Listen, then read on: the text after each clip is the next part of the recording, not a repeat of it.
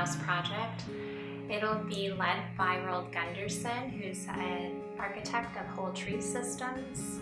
We probably can get started with it with our own funds, but to do a really good job of it and make sure that we have uh, something to cover various contingencies, um, we should probably be looking for somewhere around fifty to twenty-five thousand dollars of, of external support. The tiny house project will be the size of a shipping container, roughly 8 by 8 by 20.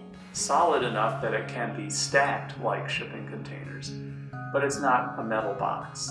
So it's a uh, natural materials tiny house that can serve many functions, not just a living space, but also a shipping container, uh, which could include relief supplies or parts of other tiny houses. The whole project will be documented by students and submitted with the Tiny House Business Plan for the Dutch government's Green Challenge for carbon abatement. It's a, a great way to pull together a lot of different aspects of the sustainability curriculum. There's so much more that goes on above and beyond building a house. Certainly building a house involves learning skills that everybody should learn, and most people don't have a chance to.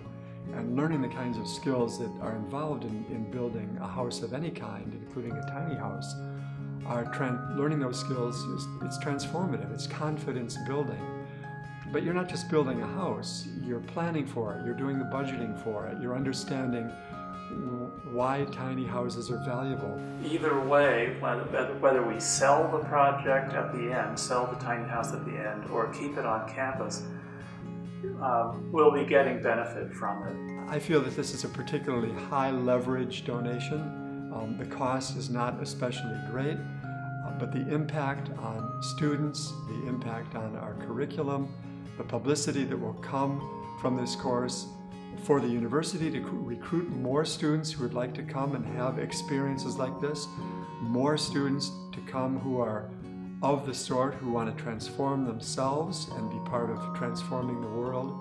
It's really a high leverage donation and I think we will see a lot of result from it. I would be so excited to have that kind of an opportunity. I think I think it's a very valuable experience, to, an opportunity to have on campus to actually be able to like dive into something where you have a product or at least can see the product emerging from the work that you're doing. It'd be great if someone would donate so we can learn how to build sustainable structures. Because um, I think it's it's something it's a a path that the world is taking. I would very much appreciate the tiny house course donation because it's a great opportunity for all of us. It's a worthwhile investment and I think the people and students at MUM are forward thinkers. They're activists and advocates for this whole new world.